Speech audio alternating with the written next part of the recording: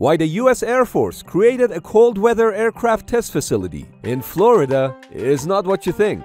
The purpose of a climatic laboratory is to measure the performance of aircraft parts under both hot and cold conditions to figure out when parts don't work.